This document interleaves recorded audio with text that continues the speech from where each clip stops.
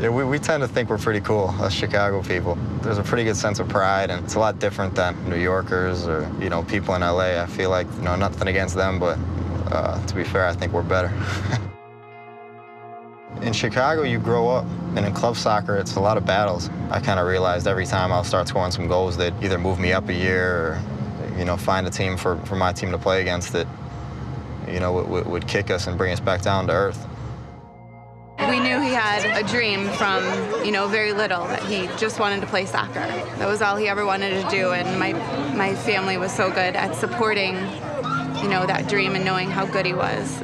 In 2000, Mike Magee was selected to play for the under 17 national team. He left his family in Chicago and moved to the Florida residency program at age 15 he has this chance to go and, and play for the men's national team. And you can't say, okay, we were supporting you, but know, don't go, we'll miss you. So it was a hard kind of reality. And it's like my only brother, my best friend. Like, you know, you have all these memories of everything that you did is with your little brother, every soccer game, Christmas, and not even those big moments, but just like playing together in the backyard. And, and then he's just like up and gone. I thought I was going to be gone for about two years. I think the first six months when I was in Florida was very difficult, and then obviously it, it sinks in. You know, I just got to make another year, and then I'll be going back home. And then towards the end of that, I got drafted in New York, and then that's when it started to feel like I might never get back. After six years with the Metro Stars and Red Bulls, Mike was traded to the LA Galaxy in 2009 every year that went by, you kind of learned to accept it. And it was like, now I'm watching my brother on TV. And it's weird that that became normal.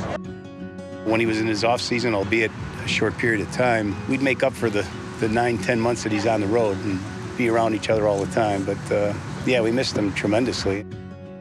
It's kind of crazy to look back at all the times when I was so desperate to get home and it just, it just never worked out or, or seemed like it never would.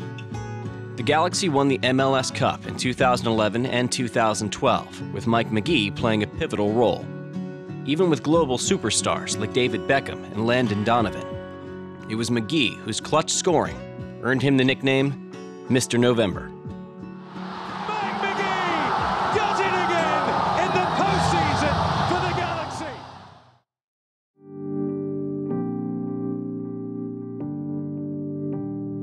In Los Angeles, news shifted away from the pitch. Robbie Rogers, a former MLS All Star who had retired earlier in the year after coming out publicly as gay, began working out with the Galaxy and pondering a comeback. But his MLS rights were owned by the Chicago Fire.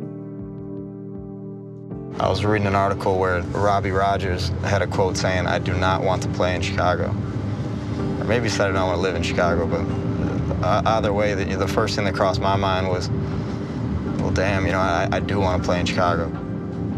So from then on out, it kind of kept weighing on me more and more. I felt like I needed to, you know, at least speak up and see if it was a possibility. On May 24th, the Galaxy announced a trade. Robbie Rogers would be playing in Los Angeles. And moving to Chicago in exchange was Mike Magee. But once the trade went down, you know, I couldn't stop smiling, and, you know, to get to come home is something I've literally been waiting for for 14 years. When Mike joined the Chicago Fire, they had already played 11 MLS matches. They had won just two of them.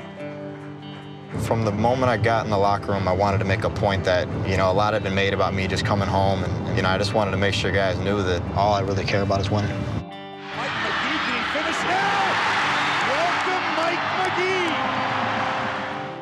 Mike's got an edge to him, you know. Mike brought something we didn't have, like intangibles, just his passion, his personality, when he's on the field, his competitiveness.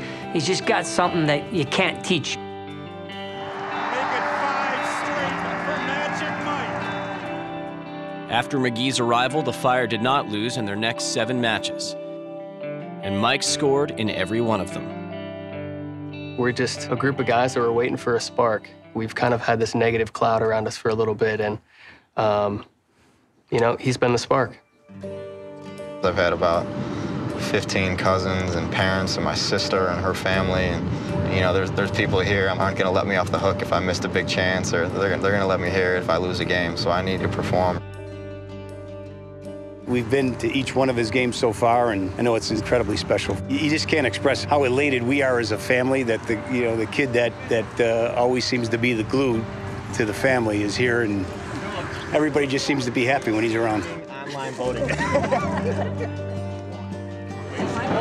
Oh man, I think it's still sinking in. Like all of a sudden remember, like him, like being there in the mornings just for breakfast and giggling and talking about soccer and about life and boys and girls and and just different things. Like like all these memories kind of flood back in and. It's like, do I get to have that again? You know, obviously we're grown up and we each have our families, but it kind of took me back to being a little kid with them, like before he left. Who's your favorite player? I was It's so emotional, and it's hard to believe that I have kind of my brother back after almost half of half of our lives. About 14 years ago, this kid went on an incredible journey. Took a, he left the nest of a phenomenal family to begin a life that most kids could only dream of. Even when he's been gone, he's never left his heart and he's never left his family. We've always remained in contact with him. We watched him. We watched him grow. We watched him become a tremendous young man. He's a phenomenal guy to be around. He makes our family complete. We couldn't be happier to have Michael back home. We love you, buddy. Love you too.